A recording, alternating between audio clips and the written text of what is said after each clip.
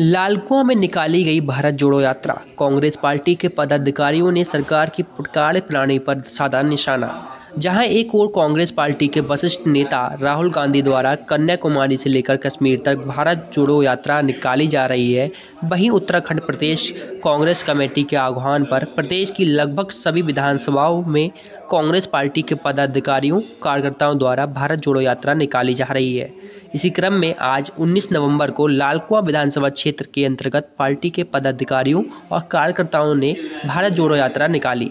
इस कार्यक्रम के दौरान कांग्रेस के नगर अध्यक्ष सरदार कुलदीप सिंह, पूर्व विधायक प्रेमनंद महाजन आदि लोग यात्रा में मौजूद रहे।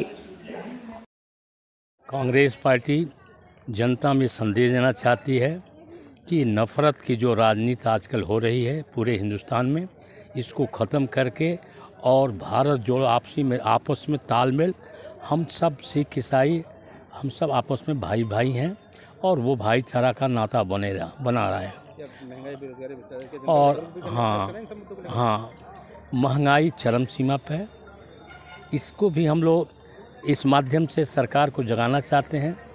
देखिए आप लोग जानते हैं वर्तमान में हमारे कांग्रेस पार्टी के नेता माननीय श्री राहुल गांधी जी कन्याकुमारी से लेकर आपके कश्मीर तक यात्रा निकाले हुए हैं। उस यात्रा का नाम है भारत जोड़ो यात्रा। क्योंकि हालात इसमें इस समय पूरे देश में एक, ये हालात है कि नफ़रत का जो एक माहौल है, वो बना हुआ है। उस माहौल को देखते हुए उन्होंने ये यात्रा निकाला है। भारतीय संविधान आज के तारीख में खतरे में है।